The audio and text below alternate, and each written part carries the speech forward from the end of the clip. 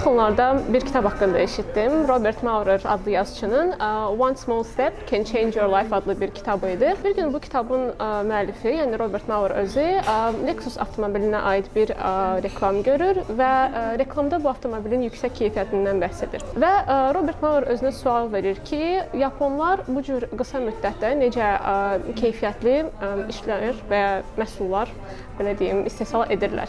Adları problemli, adları problemli. Edward Deming. Yəni where did you find it?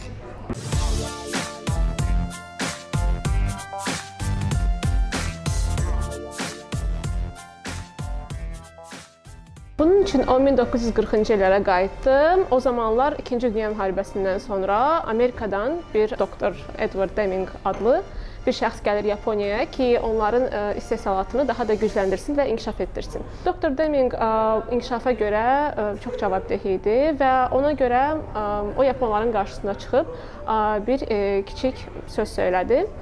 Yaponlar çox həvəslə gözləyirdilər ki, doktor Deming görəsən nə deyəcək və onun sözləri bu oldu. Əgər yaponlar yüksək keyfiyyətli məhsullar istehsal etmək istəyirlərsə, onlar hər gün özlərinə bu sualı verməlidirlər. Prosesi və ya məhsulu inkişaf etdirmək üçün mənim hər gün ata biləcəyim ən kiçik addım hansı ola bilər? Yaponlar öz fikirlərini tam bu sözlərdə fokuslandırdılar və bu metodun adını Kaizen metodu adlandırdılar. Və bu gedişat ilə onlar 20-ci əsrin ə, istehsalat üzrə birinci yerlərdə çıxdılar. I think that sounded kind of weird.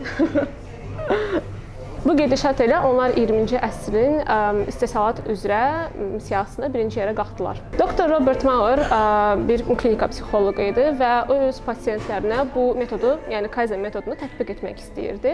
Ona görə ə, öz pasientlərindən ə, kiçik addımlar, yəni hər gün kiçik addımlar atmağı xahiş edirdi. Bununla da onlar öz məqsədlərinə çata biləcəkdilər. Məsələn, ə, kimsə işindən ayrılmaq istəyirdisə və yeni bir xəyalında, arzusunda olduğu bir işə başlamaq istəyirdisə, istəyirdisə, Robert Maurer öz pasiyentindən xahiş edirdi ki, hər gün 3 dəqiqəsini ayırıb bu iş haqqında təsəvvür etsin. Və ya məsələn kimsə idmanla məşğul olmaq istəyirdisə, amma bunu başlamağa bacara bilmirdisə, Maurer öz pasiyentindən hər gün TV-də reklam gedərkən 1 dəqiqə ərzində TV-nin qabağında addımlamağı xahiş edirdi. Və ya kimsə öz dietasından, qida rasionundan kofeini çıxartmaq istəyirdisə, o öz pasiyentindən hər gün bir qurtum daha az içməyi xahiş edirdi.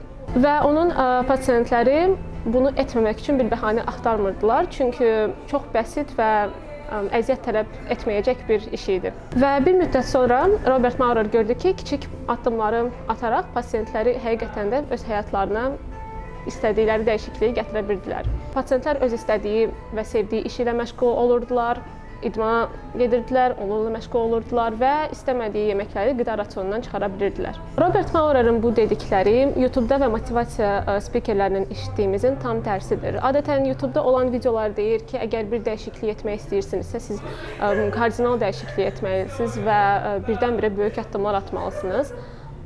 Bu böyük addımlar ilk öncə bizə adrenalin bəxş etsə də, həyəcan versə də, sonradan bizi məyus edə bilərlər. Və bu insanları uğursuzluq və qərarsızlıq qorxusu ilə baş-başa buraxır. Məsələn, bir insan əgər birdən-birə universitetə atıb öz işinə başlamaq istəyirsə, o bir müddətdən sonra başa düşür ki, heç bir vizualizasiya etmədən, heç bir təsəvvürü olmadan çox böyük bir riskə atılıb və ə, sonradan qorxu reflektorları oyanır. Beynimizdə amigdala adlanan bir hissə var ki, bunun ə, içində fight or flight, yəni döyüş ya qaç ə, refleksi yerləşir. Bu refleks aktivləşəndə biz öz uzun müddətli hədəflərimiz haqqında rasional düşünməyə dayandırırıq.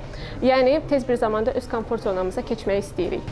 Yəni bu bizi görmək istədiyimiz işlərdən yayındıran hərəkətlərdir. Məsələn, əgər bir nəfərin biznes planı rədd olunubsa, o bütün planlarını sonraya saxlayır və öz vaxtını sosial mediada keçirməklə özünü sakitləşdirir. Və ya kimsə idman zalına getmək istəyir, amma digərlərinə qəribə görsənməmək üçün bundan imtina edir və bunun yerinə evdə oturub TV-yə baxıb dondurma yeyir. Bəs niyə Kaizen strategiyası dəyişiklik üçün çox effektiv strategiyadır? Biz ə, hədəflərimizə çatmaq üçün əgər kiçik addımlar atırıqsa, amigdalanın qorxu refleksindən ə, ehtiyatla keçə bilirik. Yəni fight or flight refleksini aktivləşdirmirik. Bu özümüzü yayındırmanın qarşısına alır və addımlarımızı inamla atmağa ə, məcbur edir. Və belə kiçik addımlarla biz yeni vərdişlər və bacarıqlar qazana bilirik. Robert deyir ki, Kaizen strategiyası ilə sizin dəyişikliyə qarşı olan müqavimətiniz zəifləməyə başlayır. Kaizen sisteminə keçid almaq üçün iki çox sadə üsul var. Birinci odur ki, siz özünüzdən kiçik suallar soruşursunuz. Məşhur English Patient kitabının müəllifi Michael Ondaatje özünü yeni kitabını yazmağa başlayanda sual vermir ki, necə heyrətamiz qəhrəman yarada bilərəm. O sadəcə bir mənzərəni gözünün önündə canlandırır və çox kiçik suallardan başlayır. Tutaq ki, mənzərədə təyyarə yerə enir və müəllif özünə kiçik suallar verməyə başlayır. Məsələn, təyyarədə kim var? Təyyarə niyə yerə enir? Niyə qəza baş verir? Sonra nə olacaq və s. kimi suallar. İkinci addım odur ki, özünüzə hər hansı bir kiçik işi görəndən sonra mükafat bağışlayasınız. Kitabda Robert bir biznesmen haqqında danışır və ə, onun bir xəstəliyi olur və həkimlər ona idmanla məşğul olmağı qadağan edirlər. Amma bu insan çox tərs bir insan olur. Ona görə özünə söz verir ki, hər gün kiçik addımlar ataraq və hədəfinə çataraq özünə ə, kiçik mükafatlar verəcək. Ə, məsələn, o hər səhər yatağından durub ə, bir yerə çatana ə, qədər və çatandan sonra özünə kiçik komplimentlər etməyə başlayır. Bu biznesmenin adı Jack idi və Robert onunla görüşə düşəndə Jackın 70 yaşı var idi və o artıq öz yaş kateqoriyasına görə bodybuilding yarışmasının qalibi idi. Jack qeyd etdi ki, böyük məqsədlərə və məsafələri dəf etmək üçün ona kiçik mükafatlar vacib idi. Məsələn, o hər 1 kilometr qaçandan sonra öz sevdiyi musiqiyə qulaq asırdı. İlk öncə bu sizə mənasız görünə bilər, amma kiçik suallar soruşaraq və özünüzə kiçik mükafatlar verərək siz əslində böyük məqsədlərinizə və hədəflərinizə çata bilərsiniz. Və bu məqsədlərinizə çatmaq üçün siz əslində strategiya inkişaf etdirirsiniz. Bu Robert Maurer'ın kitabda bəhs etdiyi əsas mesajdır. Ətraflı məlumat üçün kitabı oxuya bilərsiniz. Done. Yes.